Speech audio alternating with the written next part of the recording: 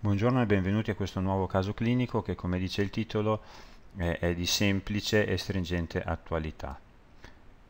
Semplice perché riguarda un caso molto lineare eh, di un paziente che è giunto alla nostra osservazione sul finire dell'estate scorsa, un maschio di 64 anni senza, come potete vedere, eh, problematiche di salute particolari, è un ex fumatore, ehm, un cosiddetto bevitore sociale, non disdegna insomma, il eh, consumo di alcolici, un sovrappeso marcato al limite con l'obesità e ehm, un'anamnesi patologica remota sostanzialmente muta, tanto che eh, non, eh, non, era in corso nessuna terapia cronica.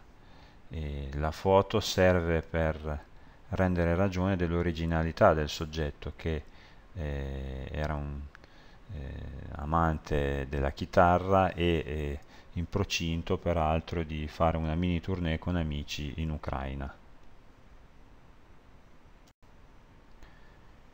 La problematica eh, con cui eh, si è presentato sostanzialmente riguarda una sindrome febbrile con un quadro eh, a specifico associato eh, di malessere e astenia.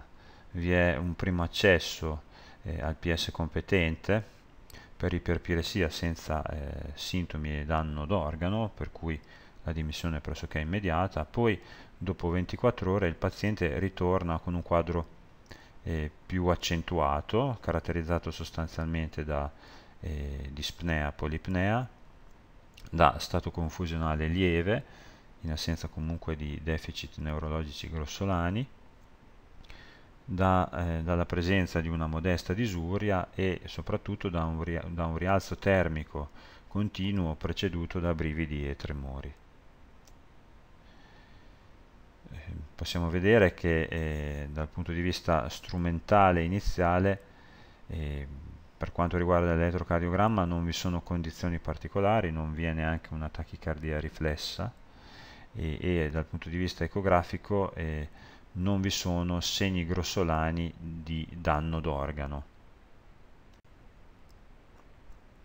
Agli esami ehm, non vi sono alterazioni significative, in particolare non vi sono alterazioni della funzionalità epatica e renale, non vi sono disionie eh, rilevanti e a distanza di diverse ore dall'esordio della sindrome febbrile vi è un debolissimo, per non dire assente, movimento eh, dei biomarkers di infezione e infiammazione.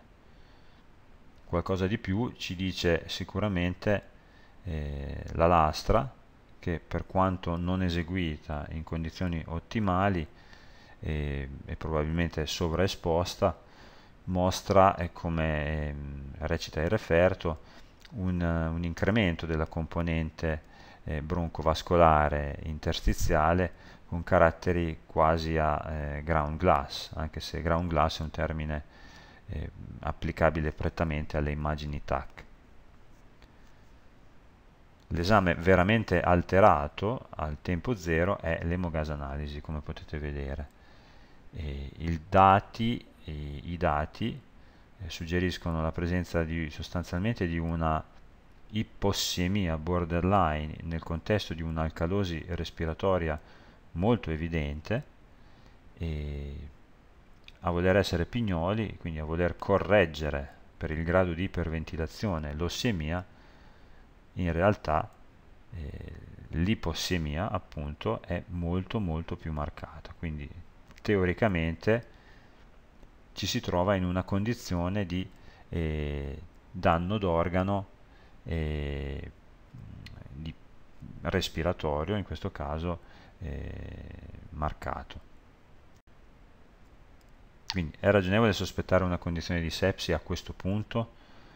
Sicuramente un rialzo termico con brivido scuotente eh, lo suggerisce, una procalcitonina invece negativa a distanza di molte ore dall'esordio febbrile eh, non, eh, non, rafforza questo, questo sospetto.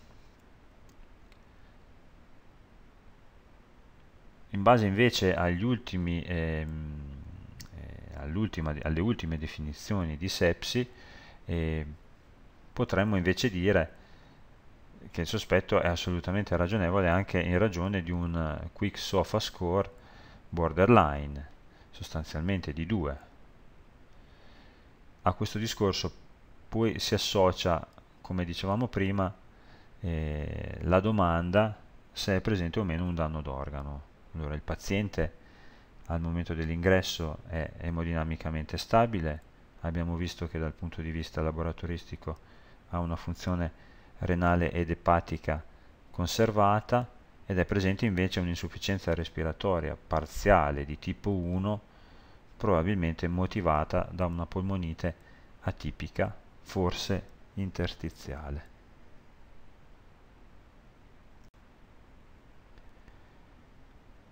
Il paziente viene ricoverato e viene avviata una terapia sintomatica con paracetamolo e FANS e, e alle puntate febbrili eh, vengono avviati gli esami culturali.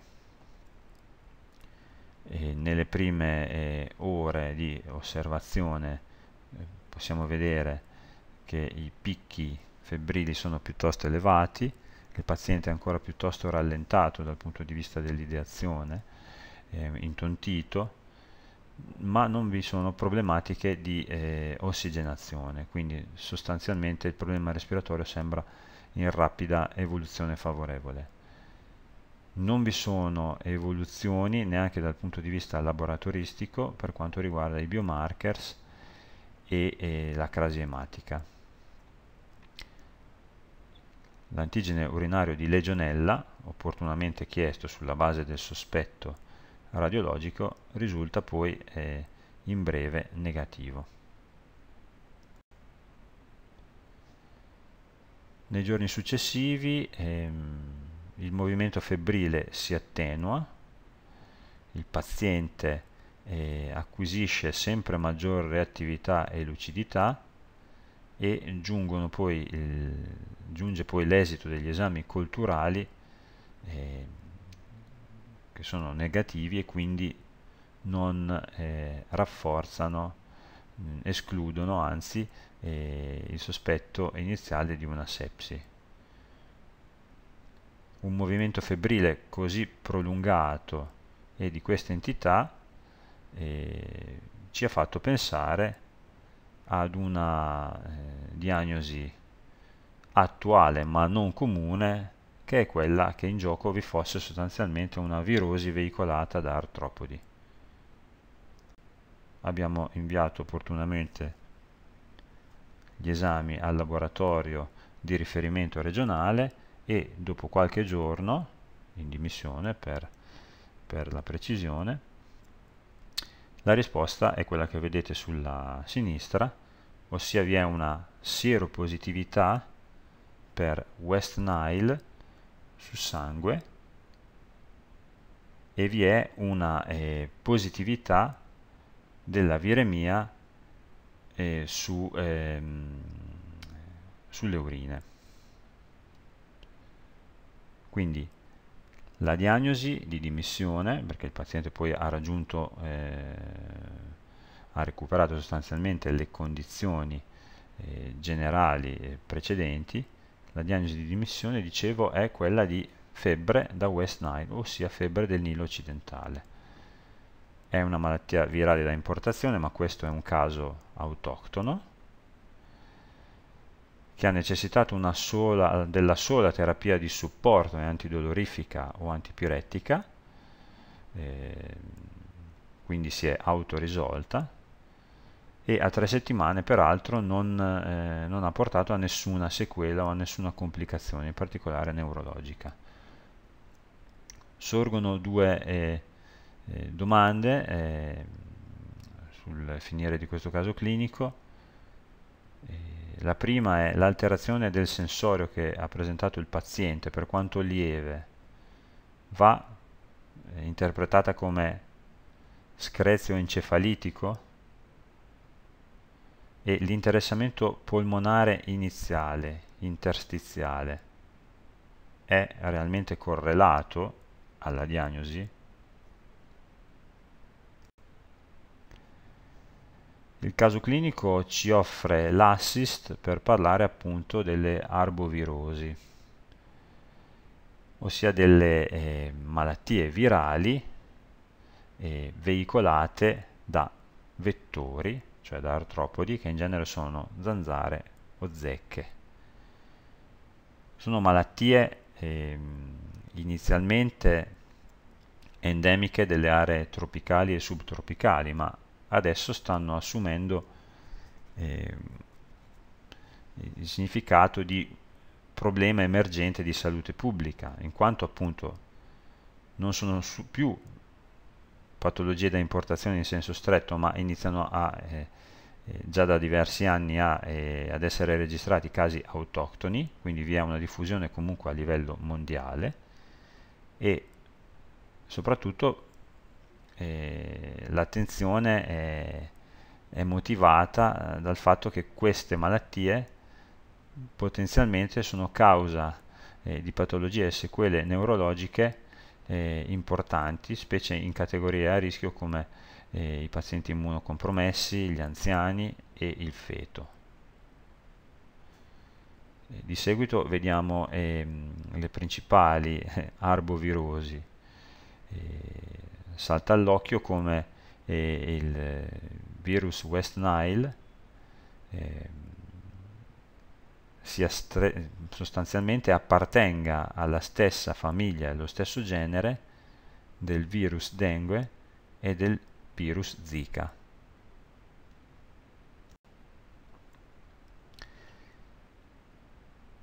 Il ciclo di trasmissione del eh, West Nile virus è piuttosto semplice.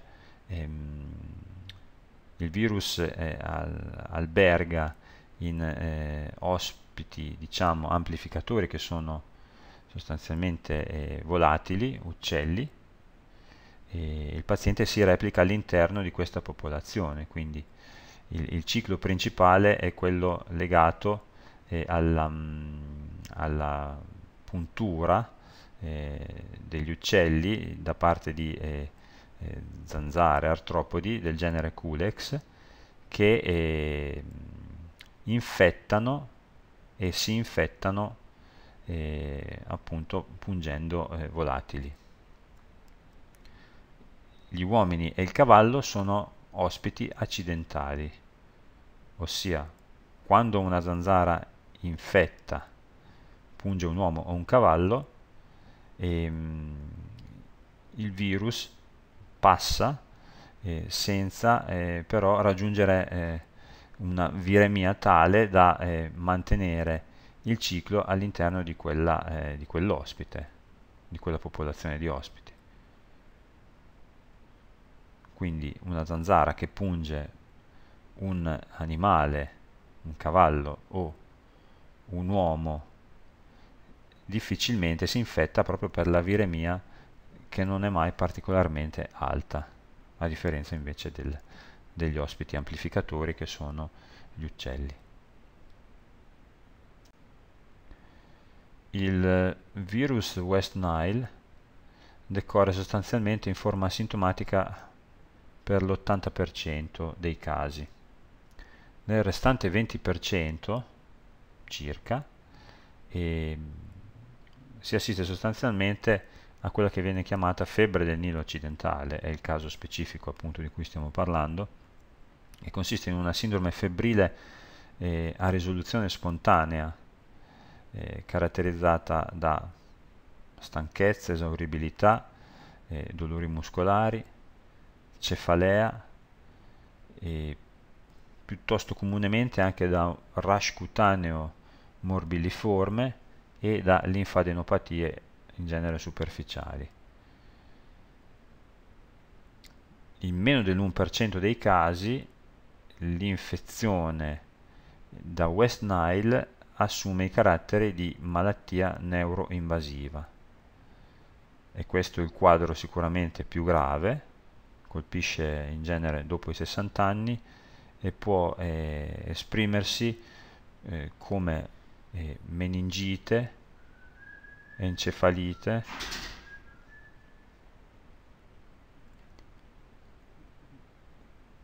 o paralisi flaccida o combinazione dei eh, tre quadri.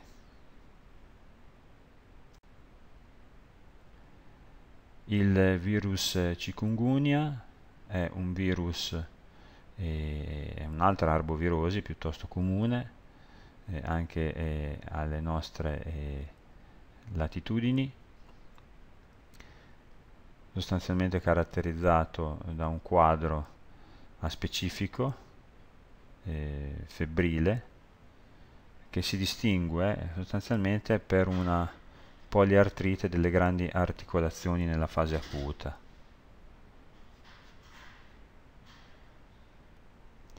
che poi danno polimioartralgie residue anche per molti mesi eh, a seguire.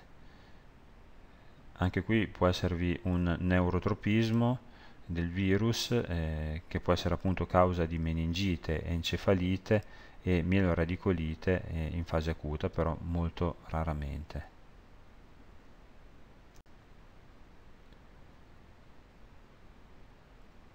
alla stessa famiglia e allo stesso genere del, del West Nile eh, eh, appartiene anche il virus dengue, che è un'arbovirosi endemica da importazione, eh, potremmo dire il paradigma classico.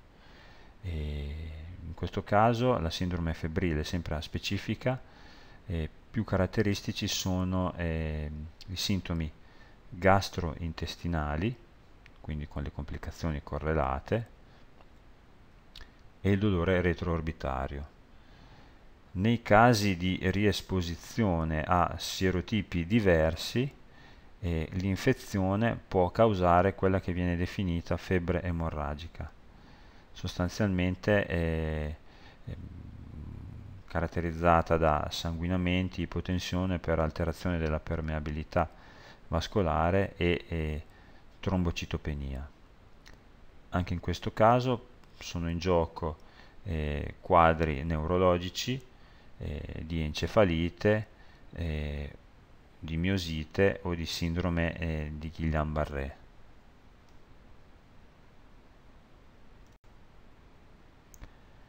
Un solo accenno sullo Zika virus, se non altro per la portata epidemiologica che ha avuto nei, negli anni scorsi.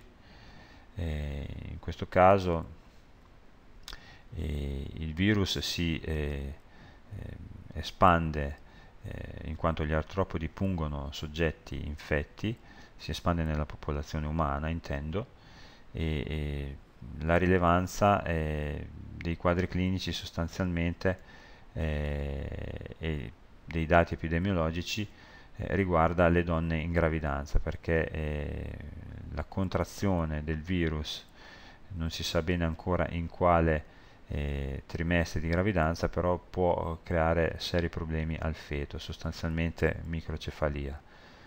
Per quanto riguarda invece l'infezione eh, eh, nel soggetto eh, normale immunocompetente, il quadro è sovrapponibile al, alle altre arbovirosi, in particolare eh, sembra caratteristico eh, oltre alla sindrome febbrile aspecifica, eh, il, la sintomatologia in termini di congiuntivite.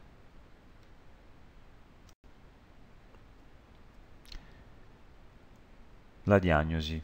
La diagnosi delle arbovirosi è, potremmo dire, estremamente semplice, perché il sospetto eh, diagnostico è innanzitutto clinico ed epidemiologico. E a confermare eh, il quadro, il sospetto appunto è la sieropositività e l'amplificazione genica del genoma virale con eh, polymerase chain reaction sul materiale biologico raccolto, quindi liquor cefalorachidiano, urine, sangue e saliva, come appunto abbiamo fatto nel nostro caso.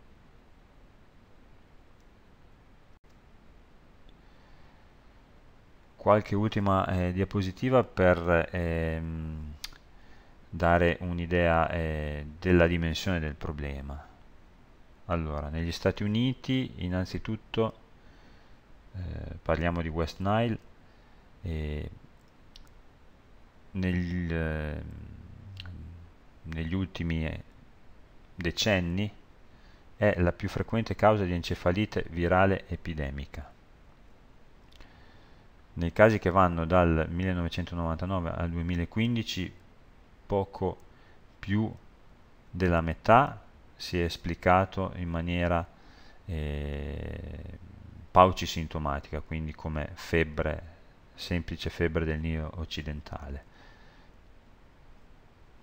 All'incirca un 40% invece ha sviluppato, come potete vedere, una malattia eh, neuroinvasiva e in un 4% dei casi appunto eh, eh, la popolazione interessata è deceduta. Sulla destra invece abbiamo eh, un'idea della distribuzione della dengue eh, nel, eh, nel, mondo, sul pianeta. Possiamo vedere che le aree più interessate, eh, quelli con incidenza maggiore, quindi con il maggior numero di casi riportati, sono l'America Latina, l'America centrale e, e l'area del subcontinente indiano e, e dell'Indonesia.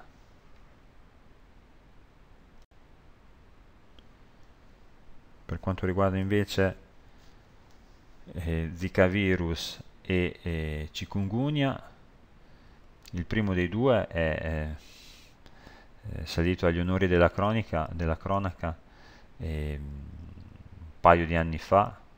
Eh, in occasione delle Olimpiadi eh, del Brasile e infatti del 2016 e infatti abbiamo visto che le epidemie nel corso del, del tempo si sono spostate eh, verso est sino a raggiungere nel 2015 eh, il Brasile e, e a interessare poi negli anni successivi anche l'America centrale e il Texas.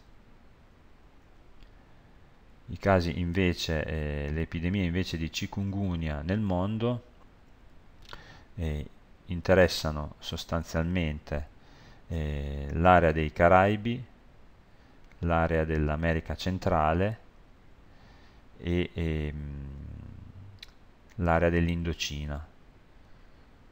Possiamo notare che ci sono stati dei cluster epidemici anche in Italia, soprattutto nella nostra regione, e, in provincia di Ravenna. Questo già da diversi anni, è una condizione nota già da diversi anni. Qualche dato sul nostro paese e sulla nostra regione, come potete vedere i casi confermati di dengue, chikungunya e zika virus sono in costante aumento. Per quanto riguarda la dengue abbiamo avuto un picco sia in Italia che in regione nel 2013, per quanto riguarda il chikungunya il picco risale al 2014,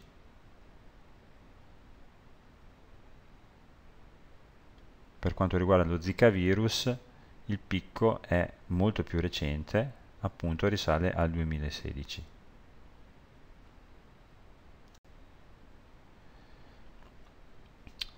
Per quanto riguarda invece il West Nile, che è sostanzialmente l'arbovirosi che ci interessa eh, più da vicino, se non altro per il caso clinico che, di cui stiamo parlando, e, ehm, mh,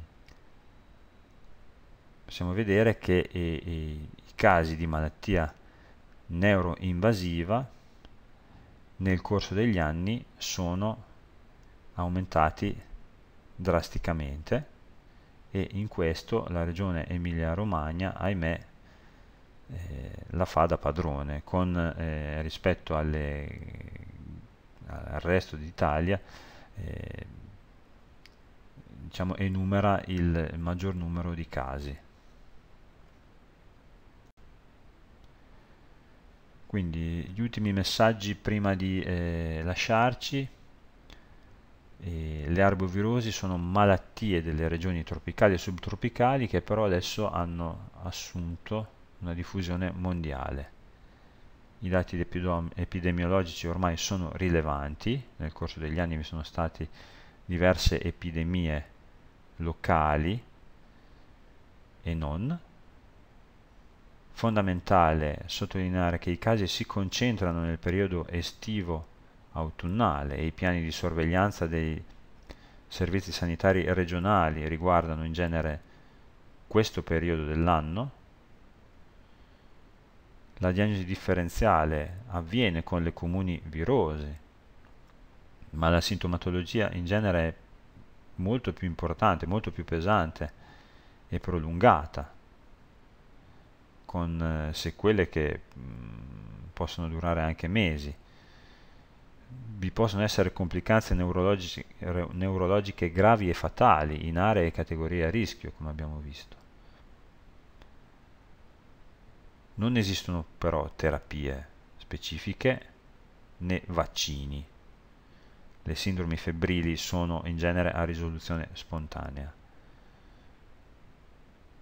Fondamentale è la prevenzione, ossia incidendo sul ciclo di trasmissione del virus eh, bisogna eh, effettuare un'adeguata lotta al vettore, cioè agli artropodi, zanzara tigre per esempio, una prevenzione delle punture, una sorveglianza veterinaria e sanitaria degli ospiti e per quanto riguarda i casi umani anche eh, nell'ottica eh, eh, della donazione del sangue e di organi.